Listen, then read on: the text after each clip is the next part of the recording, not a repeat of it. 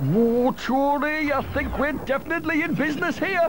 I hate to disagree, Ralph, but I think you're on your own. Hey, oh, Johnny, cheeky Butcher's at this little mule. Well, blow me, Ralph. This muffin's a real furry one. Make no mistake. Oh, what a dummy! Let's see it again! The four-legged fella does a crafty turn and hammers home a belter. That's the catastrophically crispy crunch of real fresh sprouts, all right? Smash it.